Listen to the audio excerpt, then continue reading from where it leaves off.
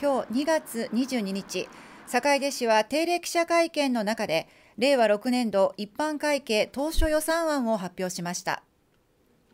予算の総額は255億4100万円で前年度に比べ13億8800万円増の割合としては5.7%増となっており2年ぶりの増額となりました。民間事業者等の知恵やノウハウ予算の内訳としては有福哲司市長が推し進めるまちづくり関連事業などで主なものとして境で再生に向けた新たなまちづくりにおよそ4億2610万円。子育て世代に選ばれるまちづくりにおよそ9億2080万円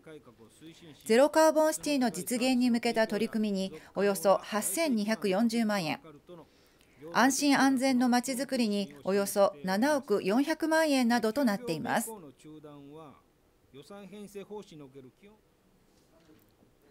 今回の増額の主な理由について有福市長から説明がありました。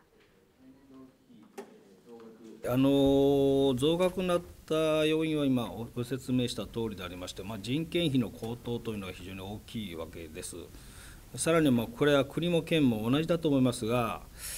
え建設事業をやるとですねかなり資材価格人件費等も上がってきておりますので、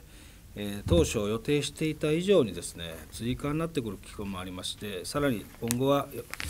え事業の見積もりする時にもかなり大きなお金がかかってくると。その中でも気をつけたのはですね、あのやっぱり境で再生を掲げておりまして、あの行政もそうですけどあまり絞り絞りやっちゃうとですねマインドが冷えてしまってはダメなので、まあ、工夫しながらまちづくりに関する分とか特に移住促進定住につなげるものそして子育てにつきましては、えー、思い切った制度の充実拡充をやって新設をやったと思ってます。まあ、これらをまず新年度の事業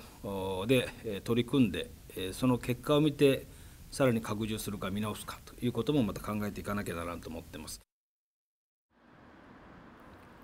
来年度予算案が主な議題となる坂出市3月定例会は3月1日に開会する予定です。